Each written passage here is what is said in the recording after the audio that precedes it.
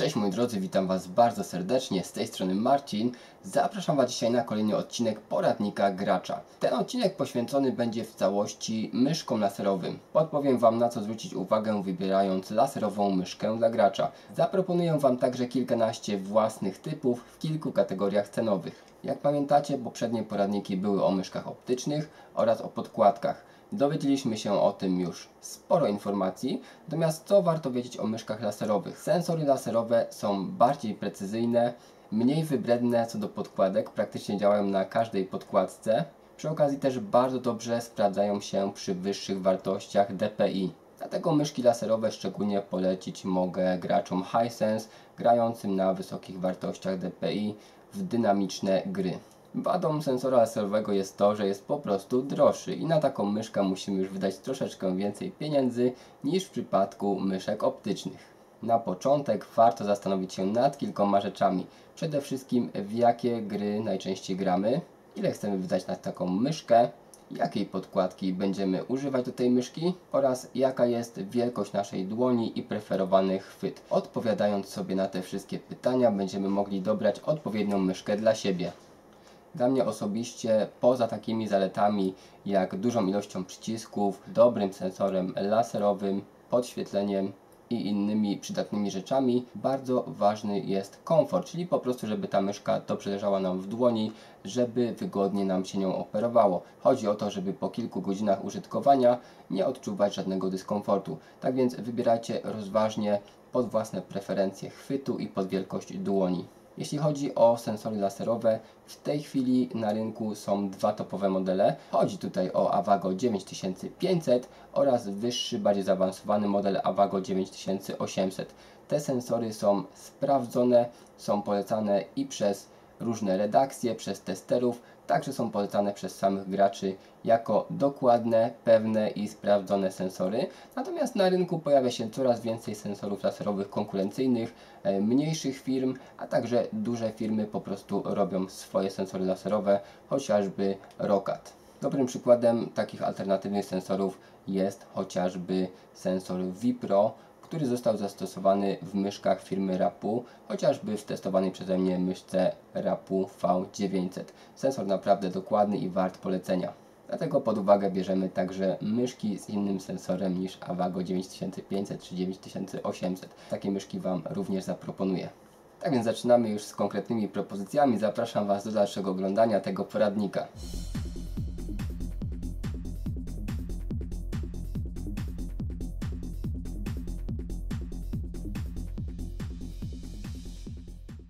Dobre, a tanie, czyli myszki do 100 zł. Tracer Transformer. Prawdopodobnie najtańsza myszka laserowa na rynku. Kupić ją można za jakieś 50 zł. Największa zaleta tego modelu to cena i możliwość regulacji wagi ciężarkami.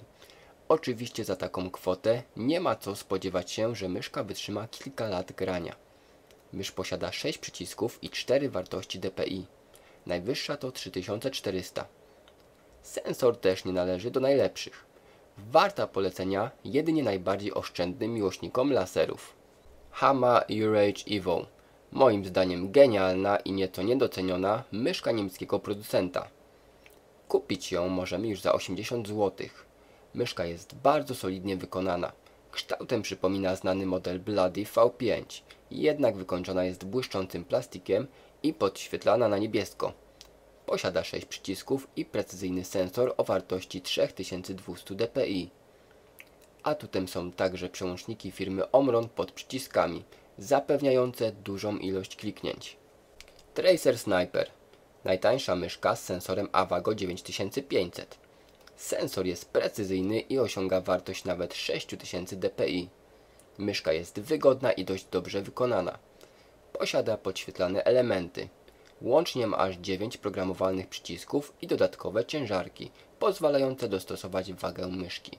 Bez wątpienia ta mysz jest idealnym przykładem, że da się połączyć dobry sensor i przyzwoite wykonanie z rozsądną ceną. Myszki dla wymagających, modele od 100 do 200 zł. Hama Ice Dragon.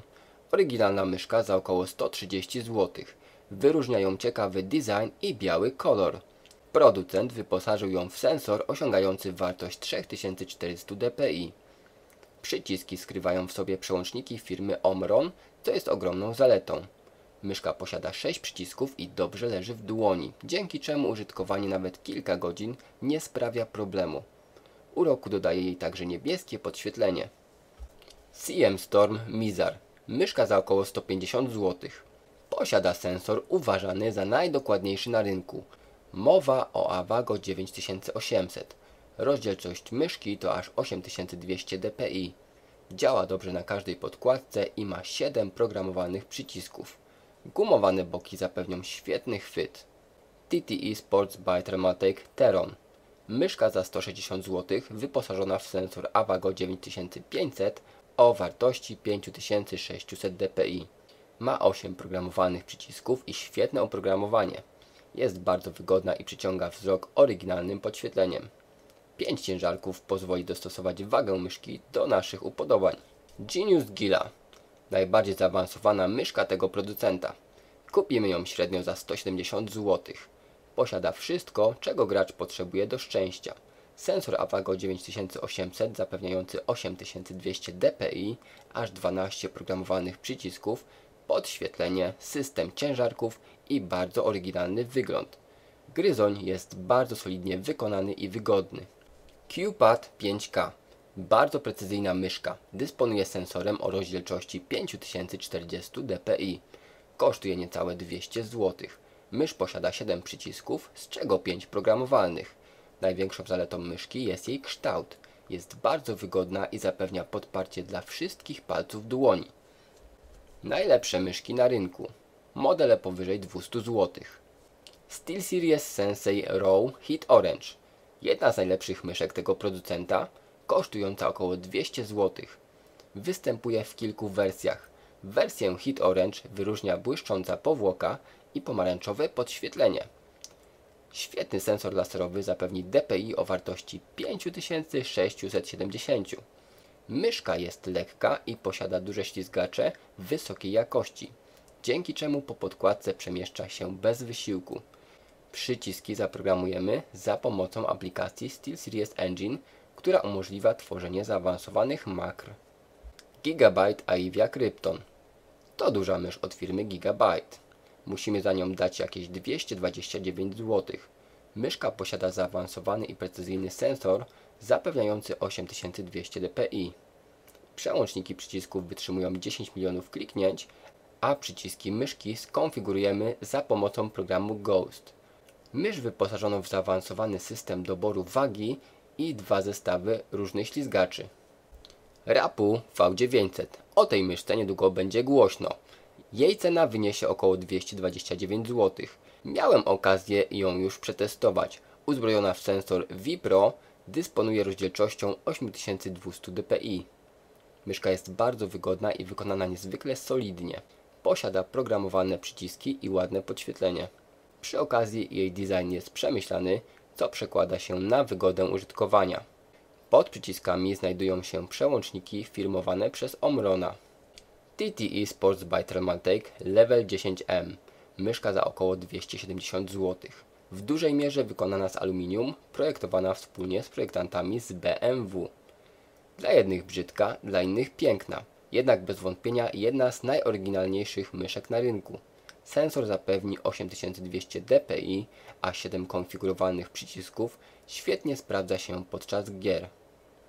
Ciekawostką jest, że myszkę możemy dopasować do swojej dłoni za pomocą dwóch śrub, zmieniając wysokość i kąt nachylenia myszki. Logitech G500 Klasyczna myszka za jakieś 280 zł. Model, będący na rynku już ładnych kilka lat, chwalony przez wielu graczy. Jest to duża i bardzo precyzyjna mysz. Powstała także nowa wersja 500S. Model G500 posiada sensor pracujący z wartością 5700 dpi. Myszka posiada system ciężarków i programowalne przyciski. Dobre ślizgacze są atutem myszki, jednak najbardziej wyróżniają oryginalny wygląd. Myszka wygląda jakby przetrwała wojnę. Cats Rad 7 Wydatek rzędu 290 zł. Kiedyś myszka firmowana przez firmę Cytek, znana także jako Cyborg. Moim zdaniem najbardziej dziwna i niezwykła zarazem myszka na rynku. W zestawie otrzymujemy specjalny klucz i szereg wymiennych akcesoriów. Konfigurować możemy kilka części myszki, dopasowując ją do swojej dłoni. Mysz pracuje z maksymalnym DPI wynoszącym 6400 i posiada programowalne przyciski. Występuje w kilku kolorach.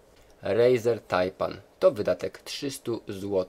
Myszka posiada sensor 4G operujący z wartością aż 8200 dpi.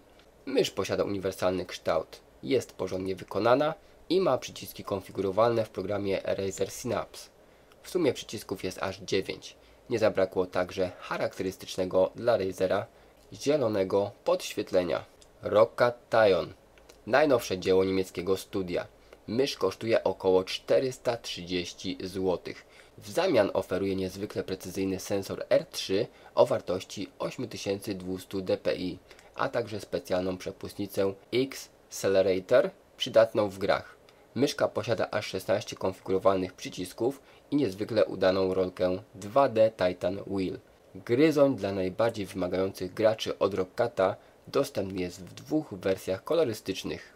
No dobrze, moi drodzy, widzieliście kilkanaście propozycji świetnych myszek. Większość z nich miałem okazję sam testować i mogę je spokojnie polecić, dlatego myślę, że będzie to dobry wybór w tej cenie. Oczywiście pamiętajcie, że są to tylko przykłady i myszki, z którymi ja miałem styczność. Nie oznacza to oczywiście, że inne myszki laserowe dostępne na rynku są w jakiś sposób gorsze, ponieważ dobrego sprzętu jest jeszcze sporo. Natomiast pamiętajcie o kilku zasadach, żeby dobrać myszkę pod własne preferencje, nie przepłacać i brać taką, żeby wystarczyła Wam na długi czas, a jednocześnie, żeby nie była przebajerowana. No bo po co to płacać za coś, z czego nie będziemy korzystać. Mam nadzieję, że ten poradnik Wam się przydał. Jeśli tak, to oczywiście będzie miło, jeśli zostawicie łapkę w górę, zasubskrybujecie kanał i polecicie ten film swoim znajomym. Widzimy się niedługo w kolejnych poradnikach, a tymczasem pozdrawiam Was, cześć!